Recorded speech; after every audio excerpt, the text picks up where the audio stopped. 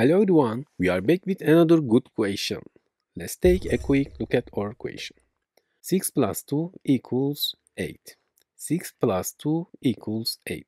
There is hidden multiplication. 8 times 8 equals 64. To avoid errors here, we must pay addition. We must pay attention to rules of order operation. Code the order operation as follows.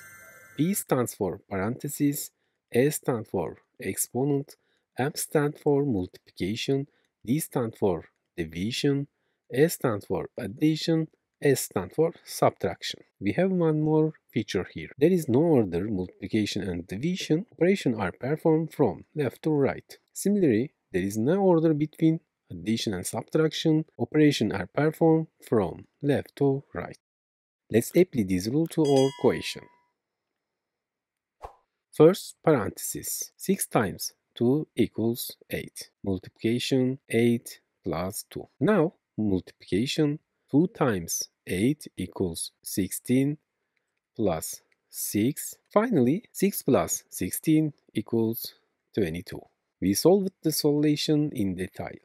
I hope you understand. We've reached the end of the video. Now, solve the question on the screen. Share your answer with me in the comment section. Let's see who can find the answer. Our videos will continue. To watch new videos, click the logo on the screen to subscribe. You can also check out other videos in the boxes next to them. See you in the next video.